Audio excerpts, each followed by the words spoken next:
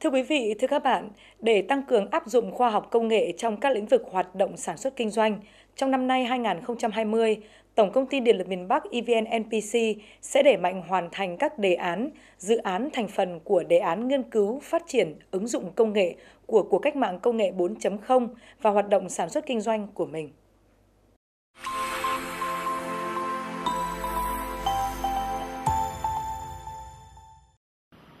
Nhằm tiếp cận công nghệ hiện đại của cuộc cách mạng công nghiệp 4.0, hiện nay EVN NPC đã nâng cấp và khai thác có hiệu quả các hệ thống phần mềm dùng chung phục vụ quản lý, điều hành sản xuất kinh doanh như hệ thống e-office 3.0, hệ thống quản lý khách hàng dùng điện, hệ thống tài chính, vật tư, hóa đơn điện tử, kho dữ liệu đo đếm, phần mềm quản lý đầu tư xây dựng, quản lý và giám sát công việc.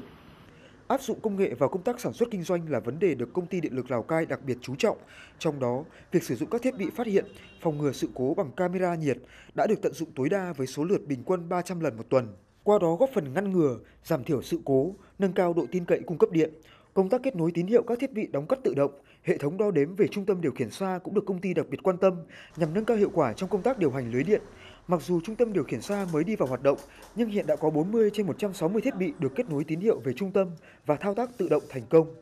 Công nghệ 4.0 là công nghệ của dữ liệu. Chúng tôi đều sử dụng một cách thành thạo các cái phần mềm dùng chung để đưa vào công tác quản lý hệ thống điện, công tác quản lý kinh doanh, công tác quản lý tài chính, công tác chăm sóc dịch vụ khách hàng, kể cả công tác quản lý nhân sự, lao động tiền lương à, và văn hóa doanh nghiệp. Ngoài những cái việc quản lý đó thì anh em cán bộ nhân viên thì có rất nhiều những cái sáng kiến để để mình biết ra thêm các cái công cụ nữa để làm sao mà giảm được cái sức lao động để tối ưu hóa được cái uh, chi phí trong những năm gần đây, đặc biệt từ năm 2018 đến nay, công ty điện lực Bắc Ninh PC Bắc Ninh đã có nhiều sáng kiến áp dụng khoa học công nghệ vào sản xuất, mang lại rất nhiều lợi ích về kinh tế cho đơn vị, góp phần quan trọng giải quyết nhiều vấn đề cấp thiết trong sản xuất. PC Bắc Ninh đã xây dựng và đưa vào vận hành trung tâm điều khiển các trạm biến áp 110 kV không người trực, các thiết bị đóng cắt trung thế, góp phần thay đổi về chất trong công tác vận hành lưới điện. Các đề tài sáng kiến kỹ thuật đã được áp dụng như xây dựng phần mềm quản trị công tác cập nhật mất điện lên chương trình OMS, xây dựng hệ thống giám sát hoạt động của lưới điện chung và hạ áp trên địa bàn tỉnh Bắc Ninh. Đề tài nghiên cứu ứng dụng phần mềm mô phỏng tính toán và phân tích lưới điện vào quá trình vận hành sản xuất kinh doanh.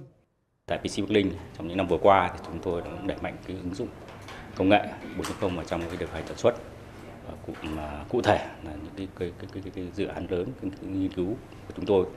và như sau. Nhất là cái chúng tôi năm 2018 đã đưa vào vận hành cái trung tâm điều khiển xa à, các trạm biến áp không người trực à, điều khiển xa các thiết bị đóng cắt phía trung áp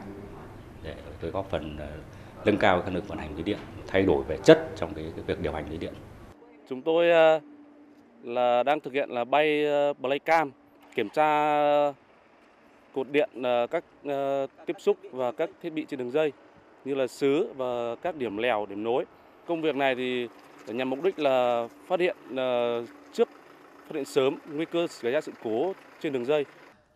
Việc đẩy mạnh ứng dụng khoa học công nghệ 4.0 trong công tác điều hành lưới điện trên địa bàn tỉnh Bắc Ninh thời gian qua đã thực sự đem lại nhiều hiệu quả thiết thực, giúp rút ngắn thời gian mất điện nhờ thao tác từ xa, nhanh chóng cô lập sự cố và cấp điện trở lại cho khu vực bị ảnh hưởng, nâng cao độ tin cậy cung cấp điện, đảm bảo an toàn cho người và thiết bị trên lưới, từ đó nâng cao năng lực điều hành lưới điện, giảm nhân công lao động, tăng năng suất lao động, góp phần giảm tổn thất điện năng trên lưới điện. Trước cái à, làn sóng của cuộc cách mạng à, về công nghệ 4.0 thì ngành điện nói chung và công ty điện lực Bắc Linh chúng tôi nói riêng đã rất chú trọng tới việc áp dụng các công nghệ mới trong à, các mặt sản xuất kinh doanh và vận hành lưới điện. Thì việc áp dụng các công nghệ mới này thì đã giúp cho công việc của chúng tôi à, nâng tầm lên cái tính chuyên nghiệp